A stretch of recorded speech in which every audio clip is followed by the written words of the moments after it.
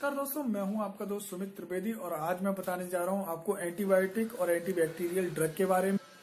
तो बात करते हैं एंटीबायोटिक और एंटीबैक्टीरियल ड्रग के बारे में।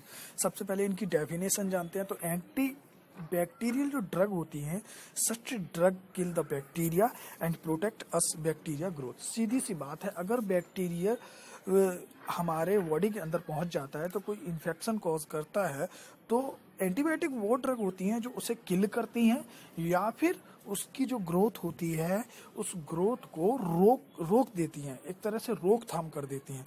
दूसरे शब्दों में हम समझना चाहें तो एंटीबायोटिक ऐसी ड्रग होती है, वो पावरफुल मेडिसिन होती है, जो फाइट करती है बैक्टीरियल इन्फेक्शन से। भैया, सीधी सी बात है, कोई भी डेंजरस बीमारी हमारे अंदर बॉडी में बैक्टीरियल इन्फेक्शन के थ्रू होती है तो उसको एंटीबैक्टीरियल जो ड्रग होती है, वो रोक देती है। अगर टाइम तक ली जाए, एक टाइम तक ली जाए तो आपको बचा सकती है किसी भी डेंजरस बीमारी से। अब क्लासिफिकेशन की बात कर लेते हैं तो सबसे पहले आता है chemical classification second is according to mode of action third is according to spectrum of activity और fourth is according to site of action तो दोस्तों, मैं आज आपको केमिकल क्लासिफिकेशन का चार्ट जो आपको वो बताने जा रहा हूँ केमिकल क्लासिफिकेशन 16 टाइप से किया जाता है एंटीबायोटिक का। वो आपको मैं बताऊँगा और उसमें एग्ज़ाम्पल भी लिखे हुए हैं तो आप उसका स्क्रीन भी ले सकते हैं। और उसके बाद में आपको एक एक करके मोड ऑफ़ एक्शन भी बताऊँगा अगली कुछ वीडियो में। तो उसे आप ध्यान से देखिए और एंटीबैक्टीरियल ड्रग का जो हमारी लाइफ में यूज़ है, उसे समझिए। तो दोस्तों, सबसे पहले आती है इसमें सल्फोनामाइड, केमिकल क्लासिफिकेशन की सबसे पहले नंबर की जो कैटेगरी है, वो है sulphonamide.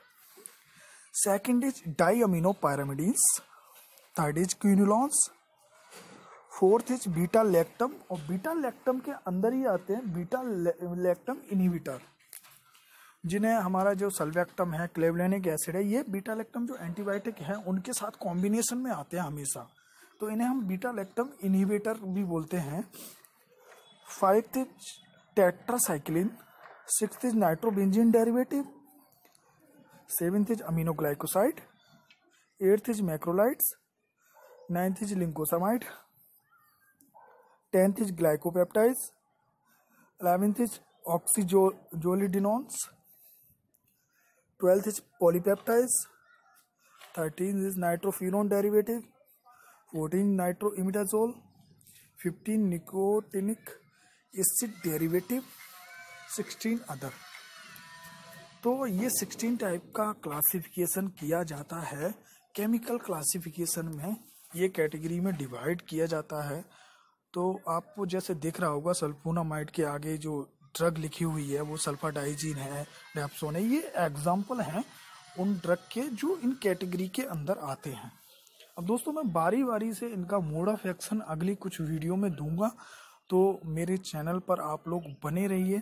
इस जो चार्ट है, इसका स्क्रीनशॉट ले सकते हैं और आप के डी त्रिपाठी जो बुक है, उसकी मदद ले सकते हैं। क्लासिफिकेशन की एक के डी त्रिपाठी की बुक आती है।